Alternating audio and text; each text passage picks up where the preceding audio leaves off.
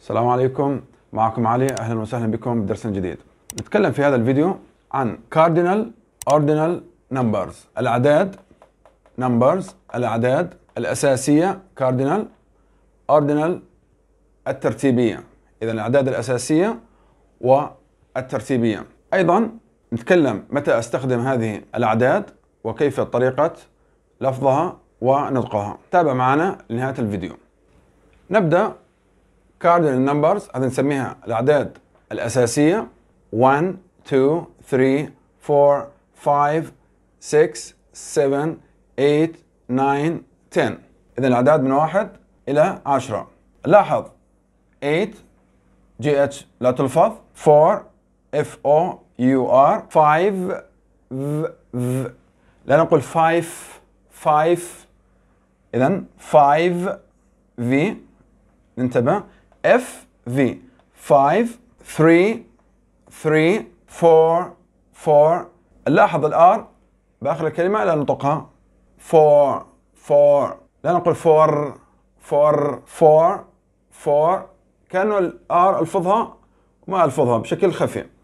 4 4 3 3 إذا نعيدهم مرة أخيرة 1 2 3 4 5 6 7 8 9 10 وننتبه لا نقول 7 7 7 في في 7 7 5 5 7 المجموعة الثانية ordinal numbers ordinal أعداد ترتيبية. إذا نسميها أعداد ترتيبية. First first second second third third, fourth, fourth, fifth, fifth, sixth, sixth, seventh, seventh, eighth, eighth, ninth, ninth, tenth, tenth. أعداد ترتيبية مثل باللغة العربية. الأول الثاني الثالث الرابع. هذا نسميها واحد اثنين ثلاث أربعة خمس. الأعداد هذه الترتيبية الأول الثاني الثالث الرابع الخامس وهكذا. هذه الأعداد في لها اختصار. نضع 1 آخر حرفين بالأعلى first first. أيضا الثاني نضع 2 آخر حرفين N D. Second second. أيضا third آخر حرفين. R D. Third third. لاحظ أول ثلاثة. First تختصر بهالشكل هذا. Second third third. الأرقام اللي بعدها إلى ما لا نهاية فقط نضيف TH لاحظ؟ فقط نضيف TH نفس الأرقام الأساسية. مضاف لها تي اتش جميعها. اذا هنا نكتب 4 بدون أي تردد. 4 5 5 أيضا 6 7 8 9 10 نلاحظ اختصار الأعداد الترتيبية.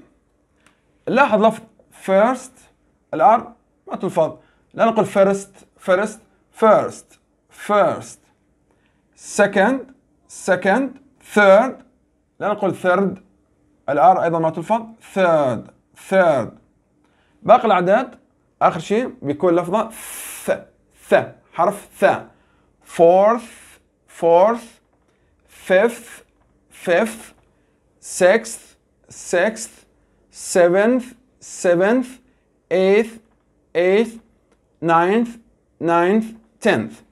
لاحظ بعض الملاحظات. 1 2 3 تتغير بشكل كامل. تحول first second third. نختصرها كما قلنا. نكتب العدد الأساسي وآخر حرفين. باقي الأعداد بس نضيف th. لاحظ 4 fourth. ضفنا th. 5 ننتبه عليها. 5 حولنا ال V إلى F. لا نكتبها fifth بهالشكل هذا. اذا خطأ. نلاحظ F I F هنا F I V اذا F I V هنا F I F انتبه الملاحظة هذه. 6 7 8 أيضا أضيف اتش أضيف اتش إذا موجودة تي أضيف اتش 9 ننتبه أيضا. 9 في عندنا E نحذف ال E ونضيف T H 9 أيضا عندنا 10 متى أستخدم الأرقام الترتيبية؟ بدل الأرقام الرومانية نسميها أرقام رومانية. اذا الثاني السادس بهالشكل هذا أرقام رومانية. بعد اسم الملك أو ملكة. فعندنا مارك رقم روماني. مارك the second نستبدل الرقم الروماني برقم ترتيبي أو عدد ترتيبي. ممكن نكتب اختصار. أو نكتب the second مارك the second اذا مارك الملك مارك الثاني. أيضا رقم روماني السادس. اذا مارك the sixth أو نكتب the بشكل كامل the sixth اذا نستبدلها بدل الأرقام الرومانية في الملوك الثامن التاسع العاشر وهكذا نستخدم الأعداد الترتيبية. أيضا نستخدم الأعداد الترتيبية مع القرون centuries century قرن. يعني 100 سنة 100 years نسميه century. 10 سنوات نسميه decade. decade 10 سنوات century قرن 100 سنة 100 years. شيء حدث في قرن معين. نستخدم عدد ترتيبي. شكسبير was born in the 16th century. يعني ولد شكسبير في القرن السادس عشر. إذا كلمة century قرن نستخدم 16 نضع th 16th يعني القرن السادس عشر. ترتيبي. لا نقول القرن 16 إذا or 16 يجب أن نكتب 16th 16th إذا القرن ترتيبي. القرن السادس عشر. أيضا نستخدم ordinal numbers على الترتيبية لعدد سنوات الكلية للاحتفال بمناسبة معينة. مثال It's a party for her 14th birthday. اكتبها 14th birthday. إنها حفلة لعيد ميلادها الرابع عشر. لا نقول 14 birthday. يجب أن نستخدم عدد ترتيبي. 14th birthday. إذا حفلة لعيد ميلادها الرابع عشر. ولا نقول 14 إذا الرابع عشر. عدد ترتيبي لحصر السنوات الكلية لمناسبة معينة. أيضا نستخدم الأعداد الترتيبية للتكلم عن ترتيب أو موقع لتتابع أو مركز معين. He came fourth in the race. جاء مركزه الرابع. Fourth إذا الرابع في السباق. Fourth لا نقول he came for هو أتى. أربعة في السباق. إذا الرابع. Fourth he came fourth in the race. وليس for. لا نقول he came for in the race. I remember the third time. أتذكر المرة الثالثة. لا نقول I remember three time. هذا خطأ. إذا يجب أن نستخدم عدد ترتيبي. I remember the third time. When I met you عندما قابلتك وهكذا. إذا عندما نتكلم عن مركز أو موقع في مجموعة يجب أن نستخدم أيضا عدد ترتيبي. أيضا نستخدم العدد الترتيبية لإعطاء تاريخ giving a date أو تحدث عن تاريخ معين. The open day is celebrated on the 2nd of June. يحتفل باليوم المفتوح في الثاني من جون إذا من شهر جون. Second to أيضا ممكن نختصرها to nd بس نضع الاختصار آخر حرفين بعد العدد. The open day is celebrated on the 2nd of June. يعني في الثاني يعني اليوم الثاني من شهر جون. أيضا نستخدم عدد ترتيبي. لا نقول on the 2 of June the 2nd of June. أيضا انتبه الأعداد الأساسية. Cardinal numbers 11 12 13 14 15 16 17 18 19 20 لاحظ 11 12 مختلفة. يجب أن نحفظها 11 12 الباقي ننتبه. نضيف تين. نلاحظ يعني 13 إلى 19 نستخدم تين. لكن انتبه 3 ثلاث. لا مباشرة نضيف لها. 13 إذا هذا خطأ. إذا لاحظ. ثير. إذا تحول 3 ثير بعدين أضيف تين 13 14 باقي الأعداد. أيضا أضيف تين 4 14 أيضا 15 لاحظ 5 لا مباشرة أضيف لها. 15 إذا لاحظ 5 نكتب بالأول 5 نقلب 5 إلى 5 ونضيف 10 الباقي 16 17 18 19 نضيف 10 لاحظ هاي طويلة. 10 معناته العدد من 13 إلى 19 عندنا 20 راح تكون بالمكان هذا. 20 تي 20 عندنا 2 تصبح 20 تي 20 30 30 40 أيضا انتبه. 4 O U ننتبه. بعد ما نضيف T Y نحذف ال U اذا ال U تحذف. لا نكتب. 4 ty بهالشكل هذا.